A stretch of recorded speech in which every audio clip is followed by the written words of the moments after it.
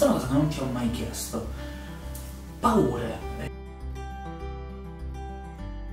Timore di oddio potrebbe succedere questo, oddio potrei non farcela, potrebbe essere un fallimento, no? Mhm. Sai il tuo modo di affrontare, qual è il tuo modo di affrontare? Ma paure uno le ha e, e ce le deve avere tutti i giorni. Quando si cresce, quando si cambia, eh, quando si cerca l'eccellenza, eh, si sfida se stessi, quindi eh, fa paura, fa paura tutti i giorni. È come uno gestisce la paura che è importante. Per me è stata motivo di determinazione, cioè una- quasi un motivo motivazionale. La ricerca della paura stessa per me è stata la sfida. Significa sto facendo qualcosa che mi spaventa, mi farà crescere. Un'altra tecnica che utilizzavo tantissimo, utilizzo tantissimo, è anche cercare di ehm, meditare con me stesso, cercare di fare un discorso interno con me stesso per vedere cosa veramente vado a perdere. Questa tecnica anche che ho imparato grazie a te, andare a vedere qual è il peggiore dei casi. Ok, eh, lascio il lavoro, cosa può succedere? Analizzando il cosa può succedere, andando ad andare proprio estremizzando nel peggiore dei casi, rendono il conto in banca, mi rubano tutti i soldi dentro, cioè rimango veramente senza niente. È una cosa che non potranno mai rubare,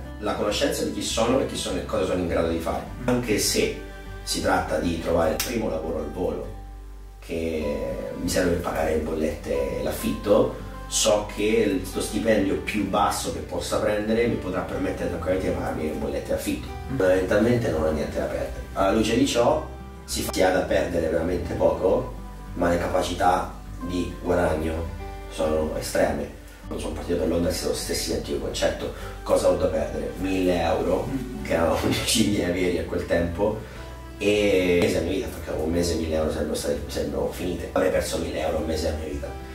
Ma quello che potenzialmente avrei potuto guadagnare, anche solo una lingua in più, era enorme. Ed è questo il motivo per cui l'ho fatto.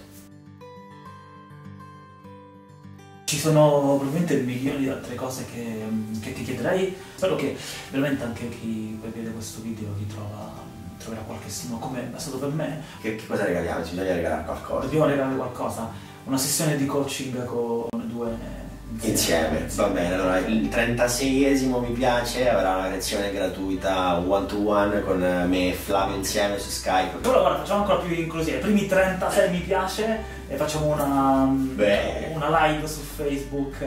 Eh, non so, qualcosa ci inventiamo, dai, ok.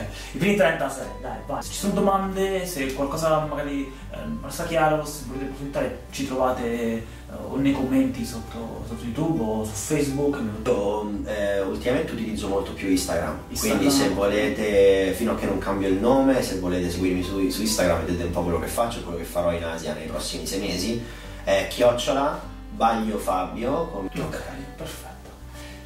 Grazie.